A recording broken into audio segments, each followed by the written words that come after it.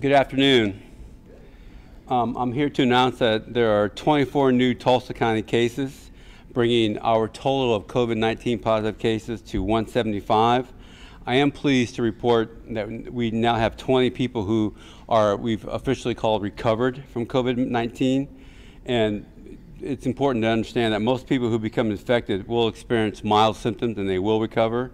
Some individuals, primarily those, those at-risk groups we've talked about in the past, are older demographics, those with um, immune compromised uh, conditions or underlying health conditions will probably require hospitalization because their illness will be more serious. Um, and I say that because unfortunately we are reporting three additional people who have died from complications of COVID-19 in Tulsa County, bringing our total of deaths to eight. Um, this week, Tulsa Health Department conducted specimen collection for COVID-19 testing at our mobile sample collection site at a confidential uh, location by appointment only. We remind everyone as resources remain limited at our department, if you have insurance, please call your healthcare provider. In Tulsa County, the hospital systems continue to test their patients. Our mobile testing site is to serve those who are pre-screened, high-risk individuals who are un or underinsured. If this is you, please call the Tulsa Health Department for screening to determine if you are eligible or if you need to be tested. All of our samples go to the Oklahoma State University lab for testing. We appreciate everyone who's been involved with these collections, including the residents who have appointments and have been tested. It's going very well. We've been really pleased with how, how well our mobile testing sites have been functioning. As soon as we get more resources to do testing, we will scale those operations up. We are working with the City of Tulsa to coordinate local donations from industries and businesses. As we receive items, we are prioritizing them for distribution to local healthcare systems and responders according to a tiered system. If you are a business interested in contributing items like gloves, N95 masks, or other supplies, please visit cityoftulsa.org. As a reminder, during this vulnerable time, scammers are taking advantage of the anxiety surrounding coronavirus. Beware of claims from people claiming to be from CDC or other experts if you haven't subscribed or received, previously received information from them. Please know that Tulsa Health Department will never ask for money or ask for your personal information over the phone or an email. Ironically, National Public Health Week kicks off Monday. It's great timing to appreciate all of our staff who have been extremely involved in this response. Public health is, of course, what, part of what we do is to respond to pandemics like this, but we also wear many other hats and many other faces. We are nurses helping new moms get resources that need to start their baby's life out right. I'm giving public health a shameless plug now. We are protecting you and your family with vital immunizations to live a healthy life. We are inspectors who make sure your rented homes and apartments are in livable conditions. We are the educators who go to your child's school to teach about active lifestyles and making personal responsible choices about their bodies over the last few weeks, we've had to modify some of the services and how we provide our services, but please know that our essential services are still here for you. Our WIC offices are able to serve you online and over the phone without a visit to the office. Vital records is also available online for birth and death certificates. Our food inspectors are still here making sure our food supply remains safe. We encourage you to support our local restaurants and bakeries with a peace of mind knowing our sanitarians are still working with in innovative ways that restaurants are um, using to stay open for business. Our staff is still conducting routine inspections, reaching out to restaurants by phone or in-person visits to offer food safety consults and to review their cleaning procedures to keep your family fed, safe, and well. Our goal in public health is to support Tulsans to be happy, healthy, and thriving. Health ex experts this week have been sharing more about modeling. Modeling is done to show potential scenarios, best case, worst case, and what we think is most likely. It helps guide our response and future planning for these potential scenarios. Modeling the spread of COVID-19 is trying to model exponential growth. And to give you a little example of what that truly means, one way to really understand what exponential growth is, if you start with one penny and you double your money every day, at one week you'll have 64 cents. At two weeks, you'll have $81. At three weeks, you'll have over $5,000, and by 30 days, you'll have over $5 million. The longer the doubling goes on, the exponentially bigger this response and this pandemic gets. When we do modeling, we use an R naught value, and this stands for how many people will get infected by one sick person.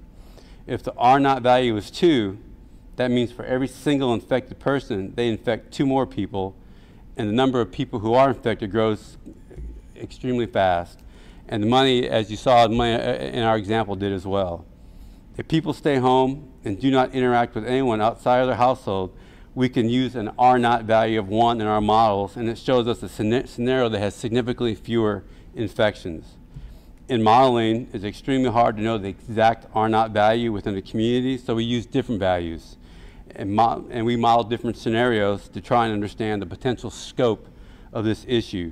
Bottom line, the more people who stay home and limit outside interactions, the fewer people who become infected. And we can adjust our models to be more narrow and ultimately more accurate. I'd like to introduce Mayor Bynum at this time.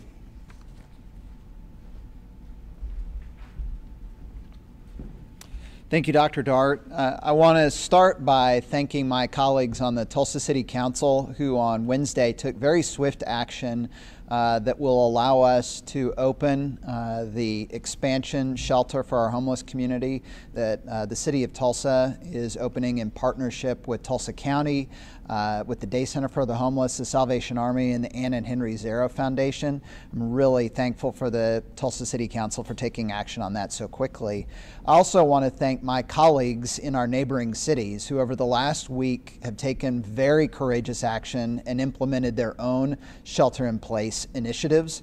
Uh, I know personally how hard uh, a decision that is to make, and I'm very grateful that they put the lives of our uh, fellow Oklahomans ahead of anything else. Uh, it, it, makes all the difference in the world when we're in such an unprecedented time to know that we're not alone in this and that our neighbors are right there with us in making those sacrifices necessary to save lives and, and protect uh, our, our fellow Tulsans. Um, I, I, really want to thank all Tulsans as well for the way everyone in our community, or most people in our community over the last week, have handled this unprecedented time.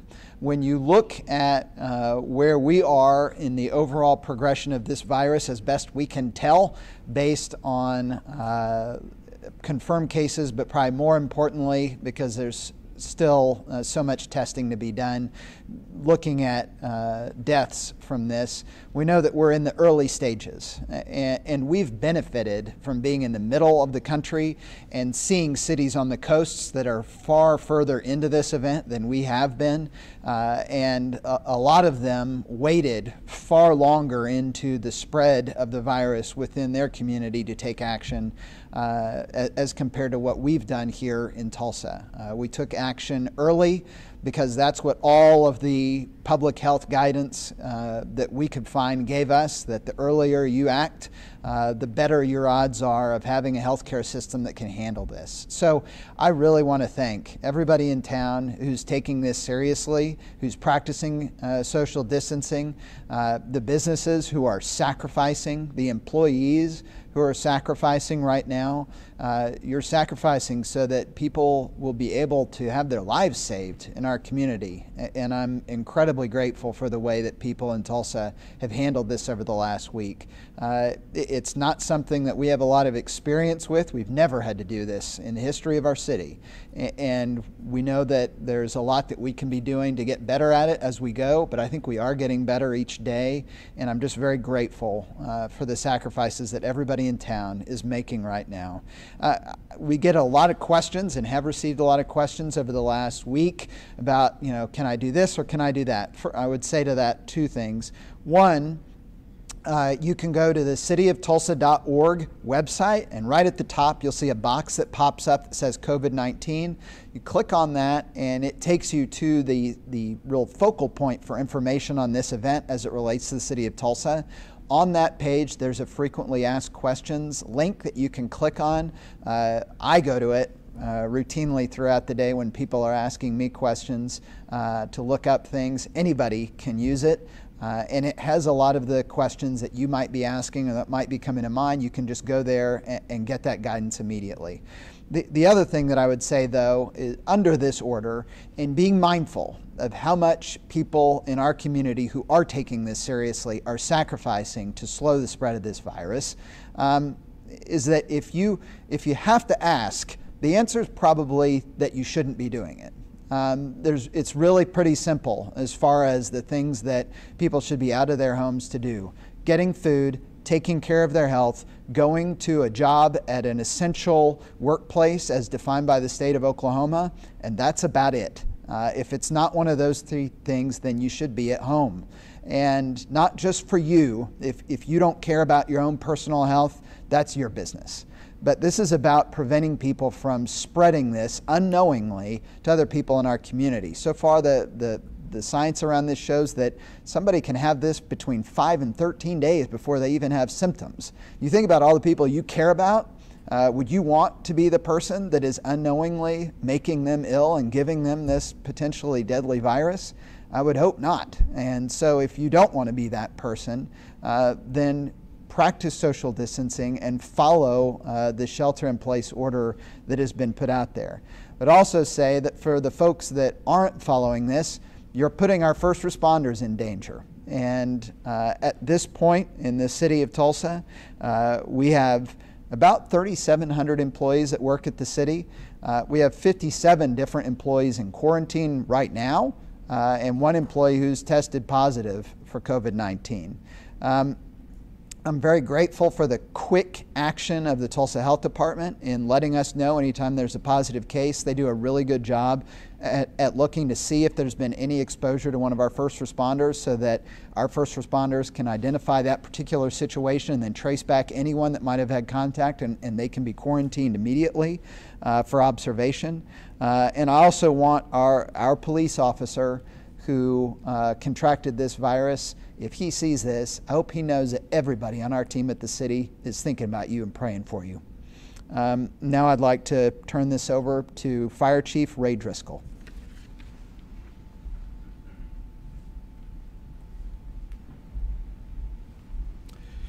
Thank you, Mayor. Well, I tell you, first of all, it, it uh, I thought I had a tough job until I got to see the mayor and Dr. Dart perform, and I really appreciate their leadership and everything that they've done. I would also like to echo some of the things that he said about this is a community issue, and we've all got to work together with what's going on. In particular, I want to mention a few things within the Tulsa Fire Department. First of all, our staffing. Our staffing is doing a very good an academy that was going to graduate about April 14th. We actually graduated those folks uh, last this past week. Uh, that's going to be very helpful that we have those folks out on the trucks.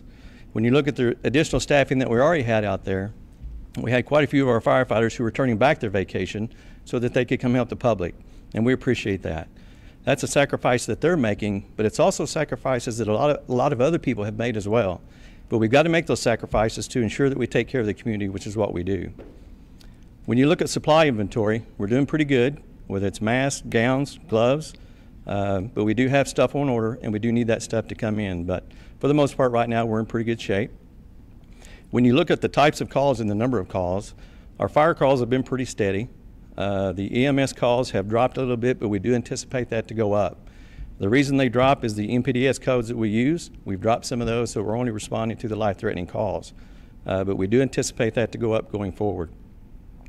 Uh, when it comes to quarantine, we've got uh, today we've got four people who are quarantined. We've had as high as 23, and that number varies because people come on and, and drop off at various times. And then the final thing is the cleaning of the fire stations and the equipment. We still clean the fire stations every morning, every evening, and then we have someone come by and, and uh, fog the stations every day. And then we also clean the equipment to ensure that we're, uh, we're taking care of the citizens when we do respond to their calls. At this time, I'd like to introduce Chief Franklin.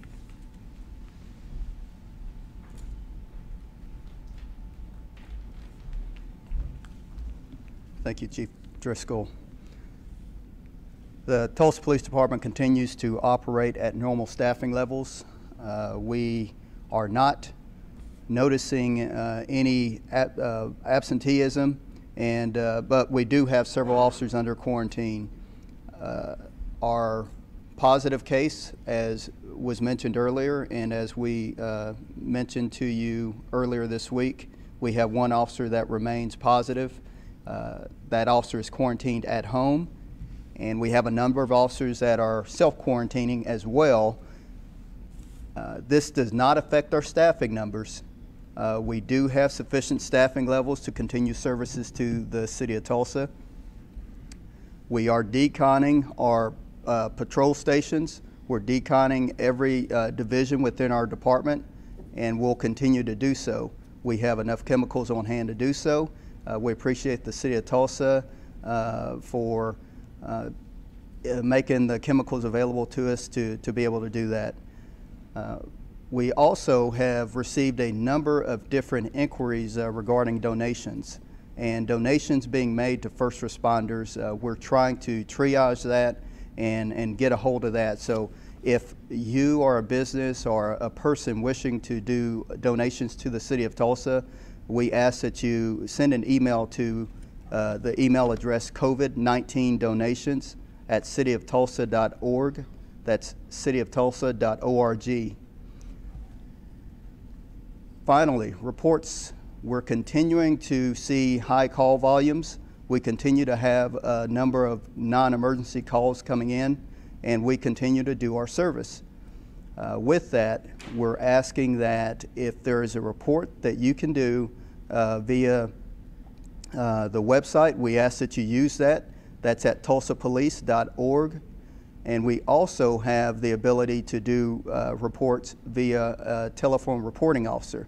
Uh, that is simply where you call into our non emergency, and our dispatcher will route you to uh, an officer who will then call you back and do the report over the phone. Uh, we're asking that you use that. That keeps us safe, that keeps you safe. Uh, we don't want to introduce that virus. Uh, finally, uh, we continue to enforce the civil order. Uh, we are asking that uh, businesses adhere to it. We're asking that all citizens adhere to it. This is not something that is that we're trying to force upon someone for the benefit of us. It is solely for the benefit and the safety of you. Uh, I will now turn things over to um, uh, Tulsa County Sheriff Vic Regalado.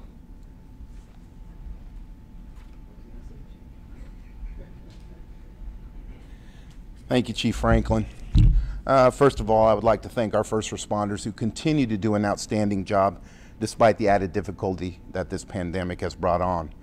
I would also like to give a special thank you to our healthcare professionals who truly are on the front lines of this battle. Please keep them in your thoughts and prayers. The Tulsa County Sheriff's Office continues to follow the sanitizing measures we implemented very early on in the jail. We have also implemented safety pod measures at intake. When we receive a new intake from an arresting agency, that inmate is placed in safety pods for 14 days. They are allowed all the rights and privileges as other inmates, but for the safety of our staff as well as our inmates, they are kept in separate pods for the duration of that 14 days. We continue to allow video visitation, and within the next few days, we will start allowing one free five minute video visitation per week per inmate. We will announce the time frame in which these calls can be made as soon as we have worked out the details with our vendor. We will uh, keep the public abreast of this uh, through social media and other means. Our deputies continue to respond to calls for service in the field, uh, and they are paying particular attention to our businesses that are still uh, operating. I would like to remind our citizens that if you call 911, it is extremely important and vital that you inform our dispatchers whether you or someone in your household has either become uh, potentially infected or is currently under quarantine for the COVID 19. And again, that's for the safety of our, our uh, first responders, but also so that our first responders do not spread that virus uh, as they continue out through uh, their daily uh, work activities. Uh, the Tulsa County dispatching uh, continues uh, working as normal. However, we have had one of our dispatchers test positive for COVID 19 on our evening shift. Uh, the rest of the shift has been ordered to um, work med and to follow the, the advice and direction of the healthcare professionals as we move forward. We do have plans in place uh, in the event that we need to make up for that evening shift dispatching. Court operations are still taking place in a very limited fashion. Our court guards have been instructed to ask questions of individuals entering into the courthouse to ascertain their risk of exposure. Emergency protective orders. During the COVID emergency, the Family Safety Center is closed to the public and cannot help the public with filling out the petition form. That being said, law enforcement in the field will be helping victims fill out those forms. Once completed, law enforcement will deliver the completed petitions and orders for emergency protective orders to the Family Safety Center. The Safety Center will fill will still fill the original file the original petition and order with the court clerk, then deliver a copy to the sheriff's office so that the process of serving the defendant may begin. Remember, the domestic violence victims may still call the Safety Center for telephone counseling. It's extremely important that law enforcement in Tulsa County understand that they must help victims fill out those petitions and, this is the vital part, deliver those filled out petitions to the Safety Center so that we can begin serving those defendants appropriately. Lastly, it's with a heavy heart that I would like to acknowledge the loss of a beloved and valued member of our Tulsa County Sheriff's Volunteer Cold Case Task Force. Joanne Emmons succumbed to the COVID 19 virus this past Wednesday and left behind her husband of 35 plus years. She will be sorely missed by all who knew her. Our prayers and our thoughts are with her and her family, as well as, as with all the people who have died from or are currently fighting this virus. I want to reiterate that it is vital that we continue to follow the directives set forth by the health department, by our governor, by our mayor, and county commissioners. As this fight against this virus continues to intensify, we must strengthen our resolve and shove aside petty differences and politics and come together to win this fight, and then begin to pick up the pieces afterwards so that those who have paid the ultimate price during this pandemic will not have died in vain. Thank you, and God bless us all.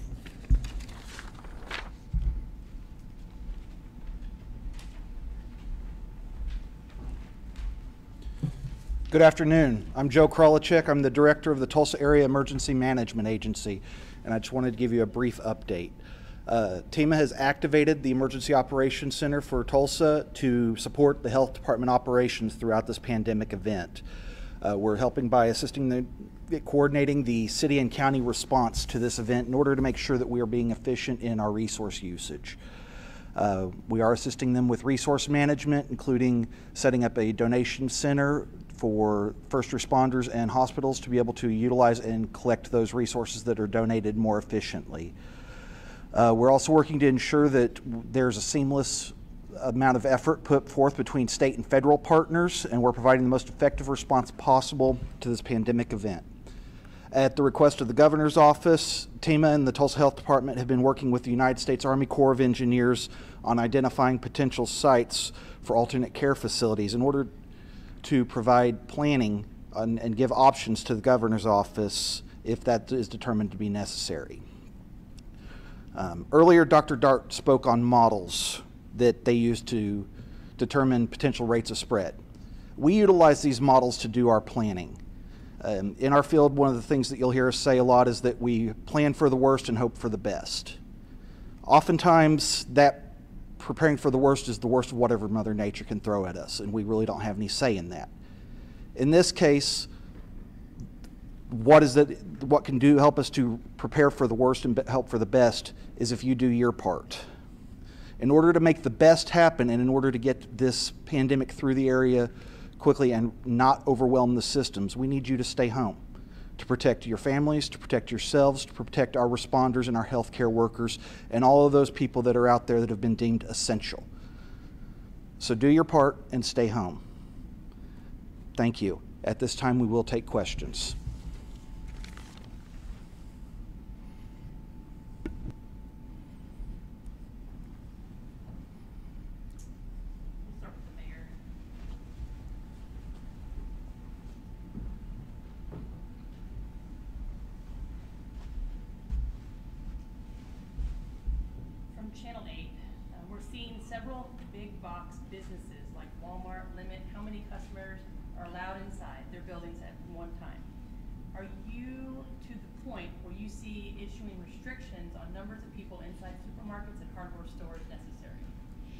That's a great question, and that's something that you know we're looking at day by day on this um, because this is something that we've never uh, had to do in Tulsa before and never been through. Uh, we're we're learning as we go and identifying best practices as we go. And so one of the things that's come up uh, is that you do have stores that are necessary for people to be able to utilize. Uh, uh, places to get food, places to get medicine. Uh, one of the frequent ones that gets pointed out to me are, are hardware stores, but the reality is people, and the governor has listed that as an essential business, and the reality is we can't ask everyone to stay home and then not maintain the home in which we're asking them to stay. And so having uh, stores that allow people to maintain their home open is important in this time. Um, but there, there are just common sense practical things that anyone can do when thinking about going to the store. You know, one I've heard a, a, you know concerns about people bringing the whole family to the store. That's just about the worst idea I can think of. Um, you, you, should go one person in your household if you if you have to go to the store, and you should minimize the number of times that you go. Uh, the number of people, you know, we, we talk about this, and I'll bring it up again and again. The more people you come into contact with, the greater your odds are of transferring this virus or getting it. And similarly, if you take the whole family to a hardware store or to, or to the grocery store with you, you are, for each person in your family, you're increasing by 100% the, uh, the number of people that could get this and bring it into your household. So I don't know why anyone would think that was a great idea. So, what we would encourage people to do is uh, if you need to go to the store, uh, one, there are lots of delivery services out there, but if you feel like you need to go, send one person. Don't take the whole crew. Um, and then if we get to a point, and I know there are some cities now that are looking at, you know, and we've done this with water rationing in the past in Tulsa, and I think there are even some cities in Oklahoma that are already doing this, you know, designating, you know, based on your address, you know, one day uh, versus another of the week that you would go to the, be able to go to the store or at least encourage people so they have some idea to try and from a community standpoint maybe not from a legal regulatory one but just from a community standpoint reduce the number of people to go. That's something that we're looking at but just haven't made any decisions on yet. Uh, again this order has been in place for six days and so we want to allow people to, to adjust to it and, and, and see where we need to improve upon it. And that certainly the, the volume of people that we're seeing go to stores is one of those big ones. Uh, another one that's come up in this area uh, are utilization of trails. Um, and I had a conversation earlier this week with our city parks director uh, and the director of the Tulsa County Parks and the river parks. And what we identified was most of the complaints that were coming in were relative to the trails and river parks or the trail that goes around La Fortune Park uh, or the parking lot at Turkey Mountain. And so uh, our, those different park organizations that oversee those specific places have put up signage based on discussions they've had with other parks around the park systems around the country, they found that's been helpful uh, just to remind people to keep that distance. And then in the parking lots, we're looking at coning off spaces so that you don't just have people on top of one another getting in and out of cars in the parking lot at Turkey Mountain. So those are things, again, we're, we're taking this day by day and we'll evaluate where we need to improve day by day. Okay. From Channel 8, what kind of preparations for a large scale response, such as a mobile hospital or supply center are happening at sites around the city. Are there plans to turn the areas into are there plans to turn the area into alternate care sites, and if so, what do they look like? So uh, the city of Tulsa is involved in that planning, but really leading that is Tulsa Area Emergency Management. So I'd be happy to turn that over to Joe uh, to give you more details.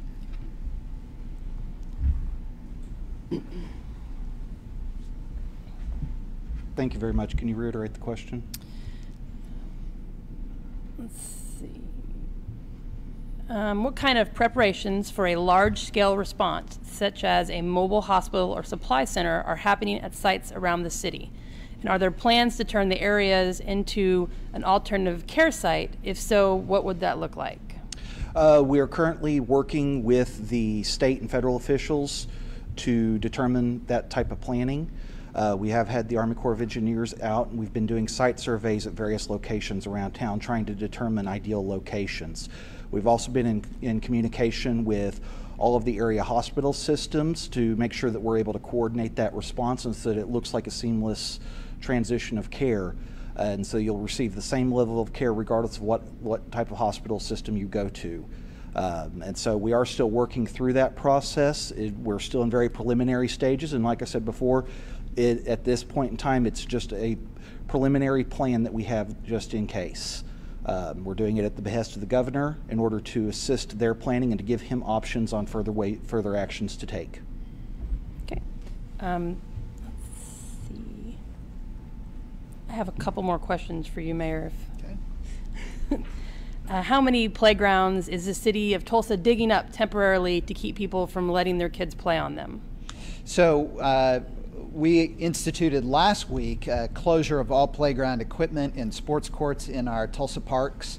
Uh, and you know most of that is self-monitoring because uh, parents need to know that uh, if you're letting your kid play on playground equipment in one of our Tulsa parks right now, uh, it has not been cleaned and you're endangering your own child by letting them play on that playground equipment. Um, and so we closed that down.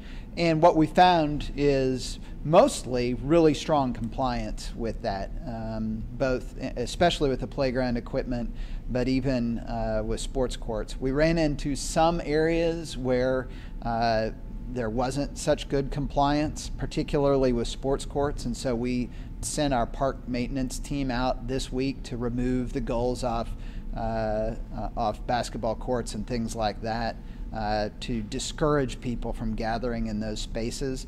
I couldn't tell you off the top of my head uh, how many facilities we did that. We're really, it's being driven by reports that we're getting from citizens where there's concerns about people not uh, adhering to the closure of those facilities in our parks. Okay, um, I have questions for Dr. Dart. Great. Thank you.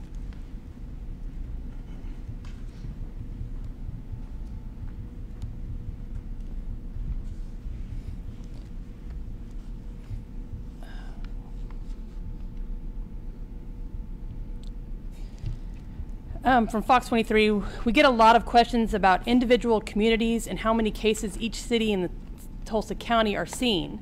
Is there a way to know city by city when it comes to the Tulsa County area? You know, we, we purposely report cases um, on the county level, uh, and we do uh, internally have the information about where these cases are located um, in cities. We don't like to go any lower than county because if we start getting down to, for example, zip code level, um, when there's smaller populations in specific zip codes, there's a possibility that an in individual could be identified. So we keep our, our reports at, at the county level. We do have that information about what communities um, we're getting cases from, but really the bottom line is that at this juncture, this is widespread. I think every community needs to understand, needs to accept, acknowledge that COVID-19 is in their community, whether they're, they're hearing about positive results or not. Okay, from Channel 6, We've heard at the state level there are some healthcare workers who have tested positive for COVID 19. Is that accurate here as well? Um, as a kid, we don't we don't reveal that kind of information. Bottom line is that we, I mean, our first concern is is at this juncture is keeping our healthcare providers and our first responders healthy, doing whatever we can to assure that they're allowed to, to do the work they need to do to protect all the citizens they serve, and um, and that that each healthcare system is closely following infection control protocols to assure that their staff are not are not being infected, not being exposed. Okay. Even though the governor loosened the rules on how uh, one can be tested in Tulsa County, can anyone who wants a test get a test right now? You know, at, at this juncture, no, because we still have limited supplies. And, and, I, and I want to talk a little bit about that because to get a test before you show symptoms really doesn't tell us the information we need to know. Mean, you could be incubating, not showing symptoms, get a test and test negative, knowing that a few days later you might test positive. So just testing everybody at this juncture isn't very helpful. Testing people who are symptomatic is extremely helpful because it's important for us in public health to know where positive are and positive aren't.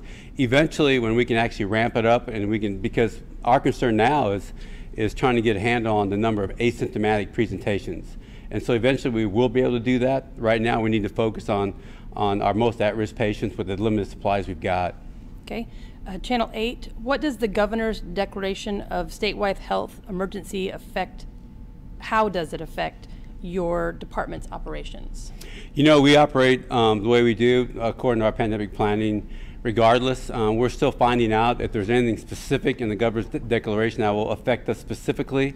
Um, not that we know of. Uh, we're continuing to, to do what we do, and that's to respond to this and protect all Tulsa County uh, residents. Okay, that's it for you. Thank you. Thank you. Uh, Chief Franklin?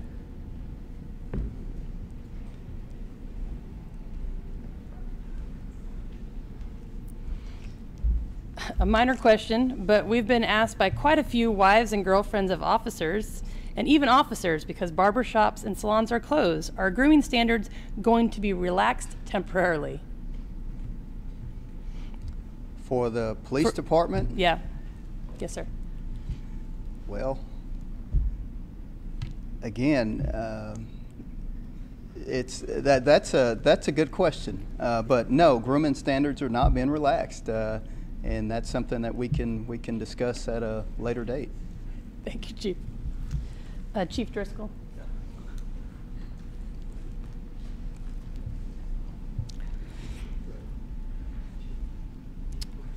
Are EMTs doing anything different to sanitize breathing apparatuses after they're being used during calls? And are they even throwing some of the products away after use with someone suspected of being positive for COVID-19?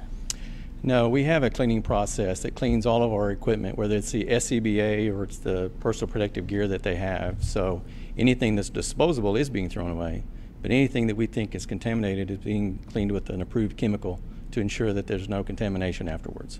Okay, thank you. And then, uh, please.